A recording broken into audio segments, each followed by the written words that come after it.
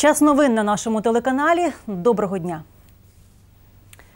У Черкаській міськраді зміна влади. Секретаря Олександра Радуцького відправили у відставку. Його повноваження обранці припинили достроково. За таке рішення проголосували 26 депутатів. Хоча у порядку денному позачергової сесії цього питання не було. Його вніс міський голова Анатолій Бондаренко. Так, я знав про це. Це була домовленість на рівні Києва між ВО «Батьківщина» та ВО «Свобода» про те, що е, буде переформатація виконкому, а на місці хлопці від «Свободи» вони е, голосували протягом останнього року разом з нами. Ми голосували разом за те, щоб зупинити будівництво на митниці. Ми голосували за те, щоб зупинити відмив коштів е, по, по зеленим зонам 60 мільйонів. У нас все було добре, але так виявилося, що на рівні українському домовились між собою е, партійні діячі і дали команди на місцях голосувати. Крісло секретаря Черкаської міськради вакантним було недовго. Після кількох процедурних перерв і узгоджень депутати продовжили голосувати. На посаду очільника депкорпусу міський голова Анатолій Бондаренко запропонував свободівця Ярослава Нищика. Він і став наступником Радуцького. 26 обранців підтримали цю кандидатуру. Хочу подякувати тим виборцям Всеукраїнського об'єднання Свобода, які на останніх місцевих виборах підтримали нашу політичну силу. І завдяки їхньому рішенню тоді восени 2015 року я маю честь бути секретарем Черкаської міської ради. Дякую ще раз колегам за довіру. Після танення снігу черкаські вулиці перетворюються на ставки. На дорогах, де немає асфальту, утворюються глибокі ями. У мікрорайоні Дахнівка через таку калюжу діти не можуть пройти до школи, автомобілі проїхати і тонуть у заплавах.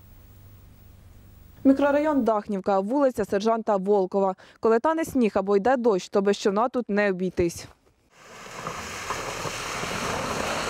20, а місцями і 40 сантиметрові ями, які після опадів перетворюються на міні-озера. На момент зйомки, коли на вулиці мінус 5, ледве минути калюжі, можна йдучи повз паркан.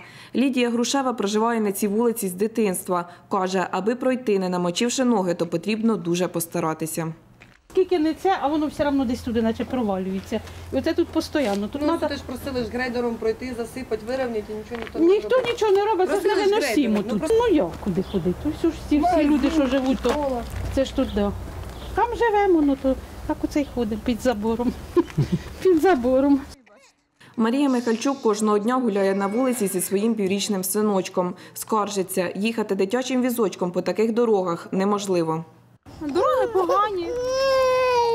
Кожного це кожна весна, коли ото сезон, коли дощі йдуть, тут, тут завжди мокро, тут завжди не можна проїхати. Ми тільки можна біля будинку гуляти і більше ніде. Ну, тут постійно. Біля садочку, на майданчику так само там затоплює, бо там низько, там взагалі ніхто не додивив. Ну, погані дороги. Юлія Макарук працює у службі таксі. Зізнається, вона та її колеги виклики на Дахнівку подекуди ігнорують. Враження такі, що просто проїхати нереально. На ці калюжі сідають машини так, що потім просто їх не витягнути. Нікому це не цікаво, ніхто нічого не робить. Є люди, котрі збирали тут підписи і просили хоча б їх засипати землею. Відповіді немає. Їздити тут ніхто не хоче. Я працюю в таксі, Дахновку брати не хочуть. Я теж не хочу брати Дахновку, тому що мені шкода директорську машину. Наша міська рада нічого не робить для того, щоб тут було хорошо. Богдан Лизогуб навчається в 9 класі. Розповідає, дійти до школи із сухими ногами нереально, тому зміни взуття до свого портфелю кладе у першу чергу. Дороги дуже погані. Кожен день, коли ходжу в школу, приходжу, ноги мокрі. Е, Потім, коли, коли додому приходжу, то постійно треба ставити на сушку.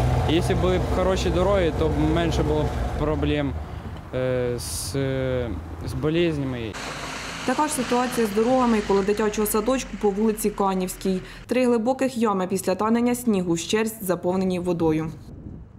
И многие мамочки жалуются, вот, м, потому не успели только вот прийти в садик и уже заболел, потому что по калюжам, по этим всем ходим. И вот так вот. И так и в школу тоже детки ось уходят, жалуются, что мама мокрые сапоги, что делать, чи в школу не идти. Вот так вот у нас. Так что хотелось бы все-таки хорошие дороги, Чим спричинена така ситуація на деяких вулицях Дахнівки, пояснює начальник управління вуличної інфраструктури департаменту ЖКК Сергій Отрешко.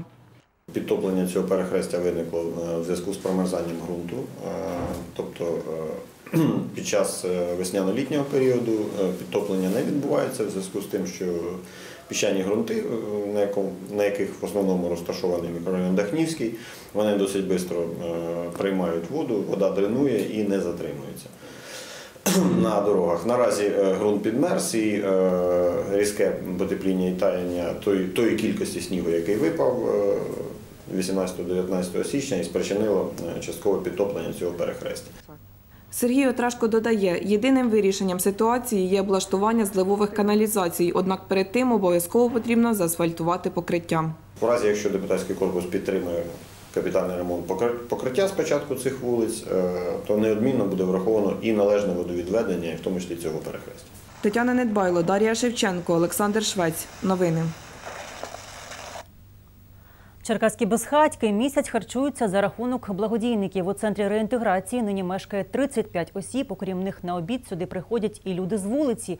Установа існує за рахунок міського бюджету. Проте фінансування громадських організацій досі не затверджено. А запаси продуктів у центрі реінтеграції щодня зменшуються. Ірина Філенко далі.